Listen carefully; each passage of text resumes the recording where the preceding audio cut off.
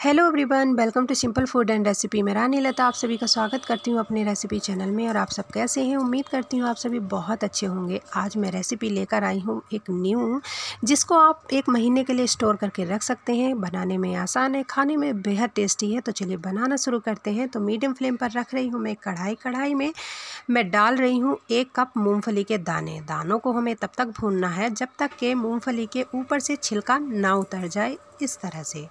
और जब मूंगफली के दानों का छिलका उतरने लगे तो फ्लेम को बंद कर देना है और दानों को ठंडा करके हमें ऊपर से इनके छिलके निकाल लेने हैं। और अब हम इन्हें मिक्सी के जार में पीसने जा रहे हैं तो इनका हमें पाउडर नहीं बनाना है, ओनली दरदरा करके हमें पीसना है, जिससे कि हल्का मोटा ये मूँगफली का पाउडर बना रहे। तो इस तरह से हमने मूँगफली के पाउडर को है बारीक कर लिया है, हल्का मोटा दरदरा करके पीस लिया है।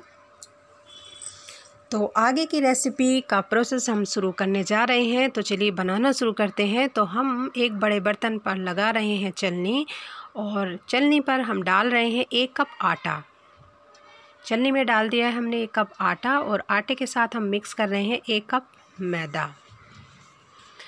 तो आटा और मैदा को हमें दोनों को अच्छे से छान लेना है। छानने से क्या होता है कि जो आटे मैदे में लम्स वगैरह होते हैं, वो अच्छे से क्लियर हो जाते हैं और छन जाते हैं।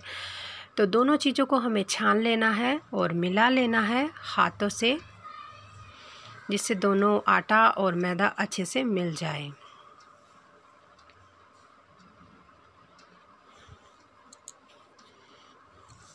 और अब हम इस आटे में मिलाने जा रहे हैं ये मूंगफली, जो हमने अभी दरदरी करके पीसी है। और मूंगफली डालने के बाद हम अब डालने जा रहे हैं इसमें बारीक किया हुआ सूखा नारियल। तो नारियल को हमने आधा लिया था तो ये आधा सूखा नारियल है, जिसको हमने मिक्सी के जार में डाल करके बारीक कर लिया है। और अब मैं यहाँ पर मीठा डाल रही हूँ तो मैं यहाँ पर ले रही हूँ एक कप बूरा। आप चाहें तो शुगर पाउडर ले सकते हैं। तो एक कप बूरा ले रही हूँ और उसके बाद मैं ले रही हूँ एक कप, उसी कप से एक कप देसी घी। और देसी घी डालने के बाद एक छोटी चम्मच डाल रही हूँ बेकिंग पाउडर। तो इस तरह से इन सभी चीज़ों को हमें अच्छे से मिलाना है और इस तरह से मिलाना है जिससे सभी चीज़ें हमारी अच्छे से मिल जाएँ।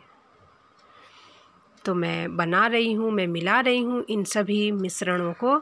तो पहले हमें धीरे धीरे मिलाना है और फिर हमें इनको दोनों हाथों से मिक्स करना है। तो इस तरह से मैं दोनों हाथों से मिक्स कर रही हूँ और हमें इस तरह से मिलाते हुए अच्छे से मिलाना है। हमें इसमें और कुछ मिक्स नहीं करना है, ना ही पानी मिक्स करना है और ना ही दूध। तो हमें इसी तरह से छोटे छोटे लड्डू बनाने हैं और लड्डू बनाने के बाद हमें इन गोलों को छोटे छोटे गोलों को इस तरह से हथेली के बीच से प्रेस कर लेना है, जिससे कि ये चपटे हो जाएँ और हमारी एक लोई बन जाए। जैसे हम पूड़ी बेलने वाली पूड़ी के लिए लोई बनाते हैं, उस तरह से हमें ये बनाना है। तो इस तरह से मैं इस मटेरियल इसका मिक्स, मिश्रण का जो है छोटे छोटे लड्डू बना के और हथेलियों के बीच से प्रेस करके इस तरह से छोटी छोटी लोई बना लूँगी। तो इस तरह से हमारी ये सभी लोई बनकर तैयार हो गई हैं। अब हम इन लोइयों को बेक करने जा रहे हैं।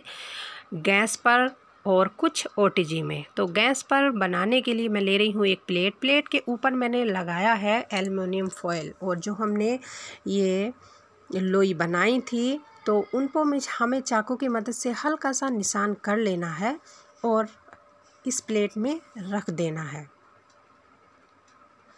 प्लेट में रखने के बाद हमें इनको बेक करना है कढ़ाई में। तो कढ़ाई को मैंने पाँच मिनट के लिए लो फ्लेम पर हीट होने के लिए रख दिया है, जिससे कि कढ़ाई अंदर से अच्छे से हीट हो जाए और हमारे जो ये, हमारी जो ये रेसिपी है, वो अच्छे से बनकर तैयार हो। तो इस तरह से इन लोइयों को प्लेट के ऊपर रख कर मैंने इस कढ़ाई में रख दिया है। तो इसमें थोड़ा टाइम लगता है। अवन में और ओटीजी में टाइम कम लगता है, पाँच से सात मिनट और इसमें तीस से पैंतीस मिनट लग जाता है। तो तीस से पैंतीस मिनट में हमारे ये बिस्किट बनकर तैयार हो गए हैं। तो मैंने यहाँ पर बनाए हैं ये आटा मैदा, मूंगफली, सूखे नारियल और देसी घी, बूरा डाल करके ये बहुत ही कुरकुरे बिस्किट। तो इन बिस्कुटों को आप महीने भर के लिए स्टोर करके रख सकते हैं। जब आपका मन करे तब आप खा सकते हैं इनको। चाय के साथ टिफ़न में रख सकते हैं। कोई मेहमान आए तो तब आप उनको खिला सकते हैं।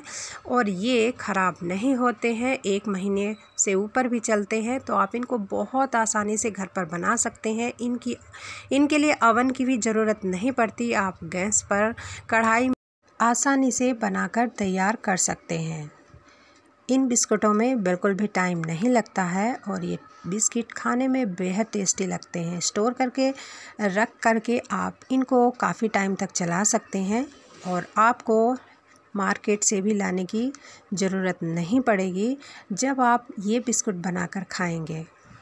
तो इस तरह से हमारी ये रेसिपी बनकर तैयार हुई है।